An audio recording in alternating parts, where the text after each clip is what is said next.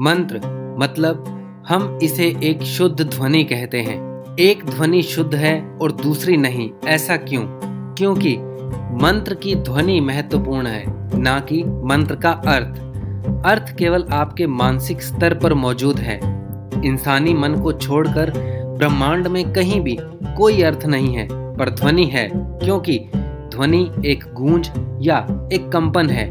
और आज आधुनिक विज्ञान इस बारे में बात कर रहा है कि कोई पदार्थ नहीं है, हर चीज़ एक गूंज है, यानी बस ऊर्जा कंपित हो रही है, और ध्वनि ब्रह्मांड का एक सच है, अर्थ एक मानसिक रचना है। क्योंकि सृष्टि को ध्वनियों की एक जटिल मेल के रूप में देखा जाता है, और कुछ ध्वनियाँ चाबी की तरह हैं। मान लीजिए कि अगर आप एक कमरे में बंद हैं, और मैं आपको एक चाबी देता हूँ, आज़ादी की चाबी।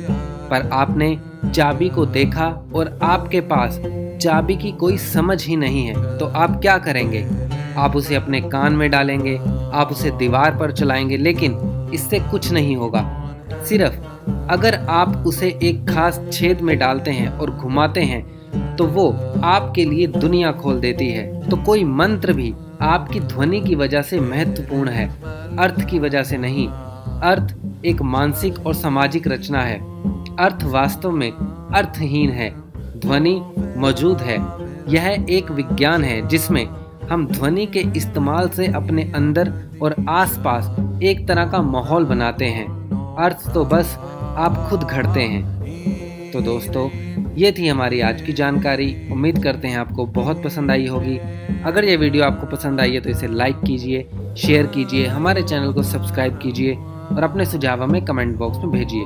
धन्यवाद।